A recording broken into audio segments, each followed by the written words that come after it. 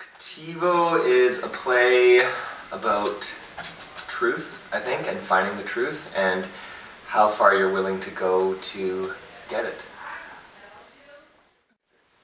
My favorite line from the show is sometimes when you stick up for what you believe is the truth, other people can get hurt. A lot of what the show is about is a guy who's been taken hostage by another man and uh, he's trying to force a confession out of him. So what I think is really interesting about uh, this piece is that the audience is so close to that. Again, it's at our hardline space down in Gastown, and everyone is in that small theater, and the action is happening right there in front of you. And what's it like to actually be in the room of another person taking someone else hostage?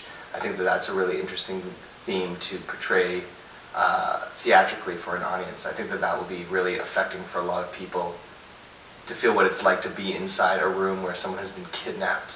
I think that that's a really interesting theme to play with, and there's a lot of fun to be had.